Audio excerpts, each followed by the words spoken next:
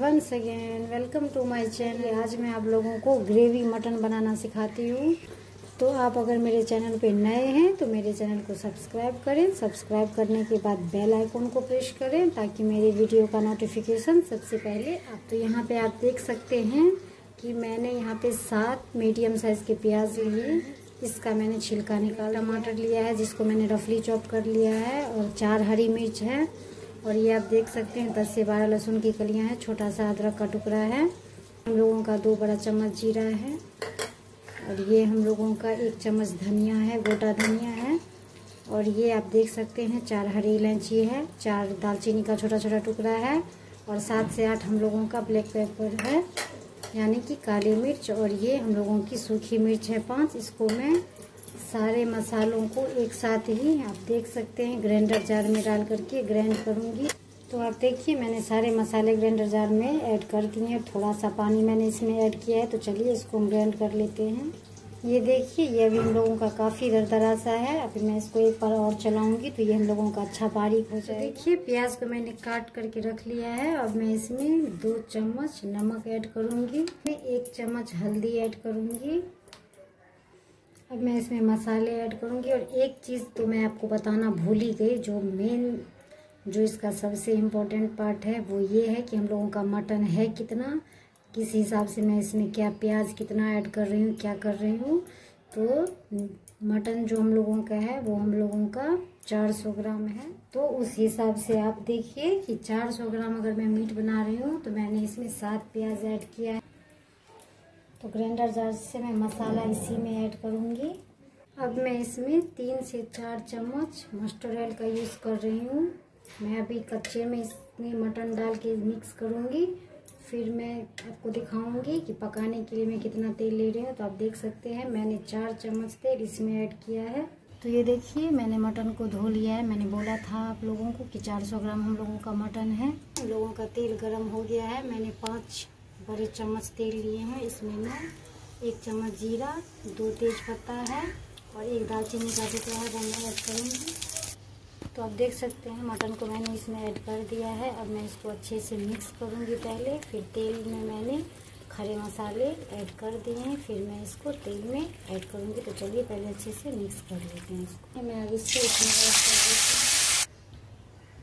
तो चलिए हम इसको अच्छे से मिक्स कर देते हैं। और अच्छे से इसको रेस्ट करने देते हैं। कम से कम 10 से 15 मिनट के लिए, क्योंकि नमक इसमें ऐड हुआ है तो प्याज अपना पानी छोड़ेगा। ये देख सकते हैं आप, मैंने इसमें अभी एक बूंद भी पानी ऐड नहीं किया है। ये हम लोगों का हुआ है तो चलिए इसको ढक करके छोड़ देते हैं। दस मिनट आराम से हो गया है। ये देखिए, ये हम लोगों का अभी पका के देख लेते हैं। चारों तरफ़ से तेल छोड़ दिया है, इसका मतलब कि पक गया है। मैं इसमें ज़्यादा पानी ऐड नहीं करूँगी, इसको मैं ऐसे ही रखूँगी। तो चलिए एक बार देख लेते हैं। ये थोड़ी देर और पकेगा, पाँच मिनट करें क्योंकि मटर को पकने में थोड़ा टाइम लगता है। तो चलिए, इसमें मैं थोड़ा सा पानी अभी ऐड करूँगी।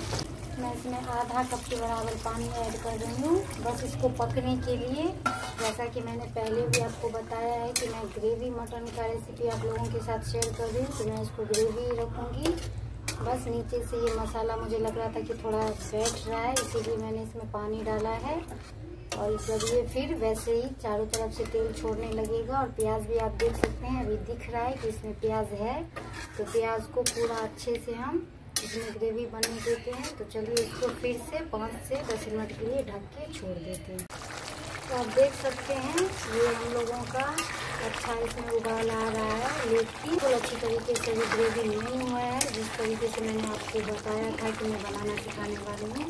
तो इसको थोड़ा सा मैं और ग्रेवी करूँगी। बाकी हम लोगों का मटन जो है, वो अच्छे से पक चुका है। थोड़ा सा मैं इसको ग्रेवी कर लेती हूँ।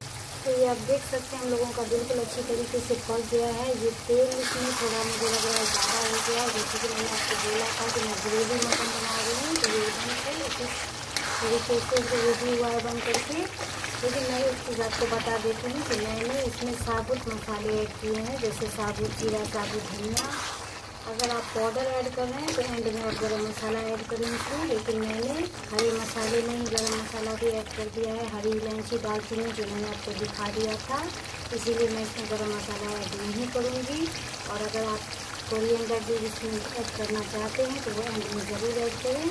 अब मैं इसको गर्मा गर्म सर्व कर लूँगी और आप देख सकते हैं, अगर आपका मन कर रहा है तो थोड़ा तेल कम ऐड करें तो तेल आप थोड़ा कम ऐड कर सकते हैं इसमें। नमक आप टेस्ट अकॉर्डिंग ऐड करें। क्योंकि आप देखते ही समझ रहे होंगे इतना टेस्टी लग रहा है। तो आप समझ ही गए होंगे कि जितना टेस्टी बना होगा। तो चलिए इसको गर्मा गर्म हम सर्व कर लेते हैं। तो आप देख सकते हैं हम लोगों का ग्रेवी मटन बनकर के एकदम रेडी हो चुका है। इस तरीके से आप बनाएँगे, बहुत ज़्यादा टेस्टी बनता है ये मटन। जैसे हम लोग कहीं शादी वादी में जाते हैं, बिल्कुल उसी टाइप का ये बना है। तो इसे एक बार आप ज़रूर ट्राई करें। मेरा ये वीडियो अच्छा लगे तो मेरे चैनल को लाइक दें सब्सक्राइब करें एंड ज़्यादा से ज़्यादा शेयर करें। Thank you for watching my video